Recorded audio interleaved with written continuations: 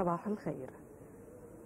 نمط موسيقي ومذهب في الغناء اشتهر بين الأمريكيين من أصول أفريقية. يسعى إلى كسر حاجز الصمت والثورة على واقع الأشياء بلغة جريئة وبألحان في أغلب الأحيان متشنجة وكلمات حادة تنتقد الأوضاع السياسية والاجتماعية علنا هذا المذهب الموسيقي الشبابي المعروف بالراب أو الهيب هوب انتقل إلى بعض البلدان العربية ليتخذ في بلدان منها فلسطين والمغرب ولبنان والجزائر شكل ثقافة متكاملة. آه، عنوانها الأبرز هو الاحتجاج والتمرد على الظلم الاجتماعي والسياسي. فلماذا يستعين الشباب العربي بقالب غربي للتعبير عنهم؟ وكيف تحول رجب ورفاقه إلى RGB؟ نتابع.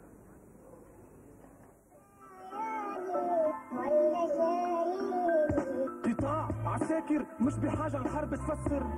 مش بحاجة الحرب تفسر.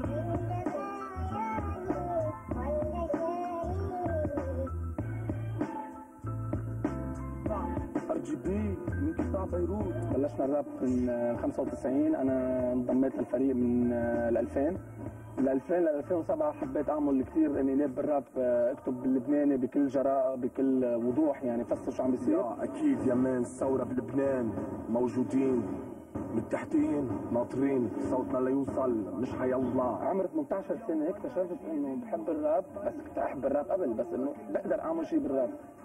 أنا كنت أعمل rollerblade زمان.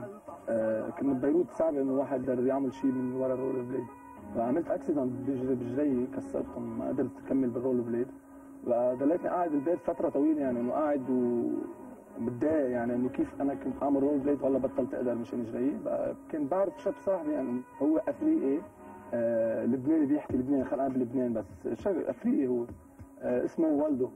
فهيدا الزلمة إنه أعطاني شيء experience كثير قوية إنه علمني شيء يعني بيت بوكس بساعة أمي.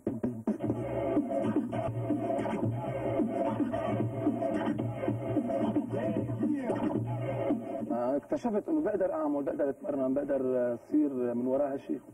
يعني أكيد مع التمرين أنا حبيتها أنا رغبت فيها يعني.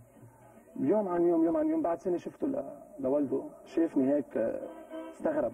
إنه كيف آه، ممكن أنا أكون هيك بهال بهال يعني بالسرعة بتعلم يعني.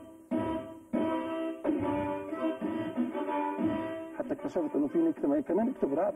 يعني منا صعبه يعني بالنسبة للي إنسان حده إنسان عنده خبرة يعني مثل اللي كان معي أنا سي والده.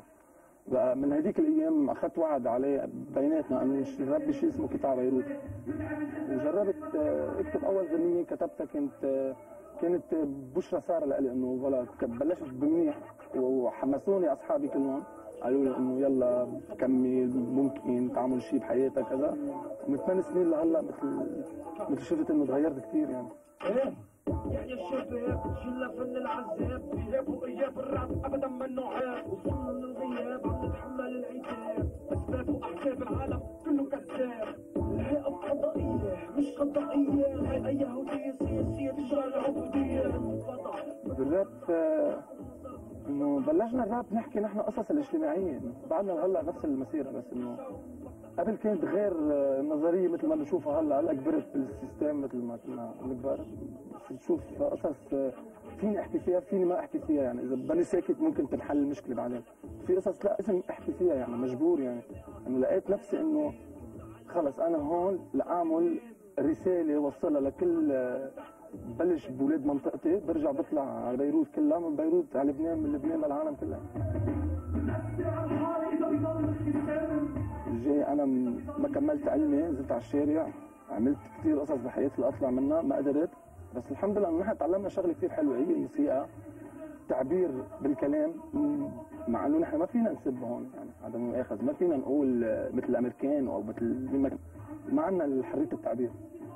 تعبيرنا عقدنا وكملنا فيه هيك وماشيين بمنطق بكلامنا إنه ما نحكي لا سياسه ولا دين لأنه هيدا تعودنا لهم. ومبدئيا أنا باخذ المثل من حالي. أنا كل اغانيه ما بحكي غير عن حالي. ما دخلني ما بنتمي لأجل حدا. بحكي عن حالي بخلي العالم تشوف في المثل اللي أنا مرقت فيها بتجربة أو شو ما كان. تركت كل شيء بحياتي وكرست حالي هيب يعني هيدا من بعد ما صار عمري 25 سنة اكتشفت هيك إنه ما فيني أعمل شيء تو كان عاد بلبنان أنا أوكي أنا لبناني مع جنسيتي. ما بقدر أعمل شيء ثاني شو بدي أعمل؟ صارت هي حياتي بجوار الراب لازم أوصل لمرحلة. شو هي مرحلة؟ تغيير. أهم شيء عندي أنا. تغيير. مش إنه بدون لابس أحلى سيارة مثلا ولابس أحلى ثياب لا بس تغيير تغيير. تغيير بجيل جديد.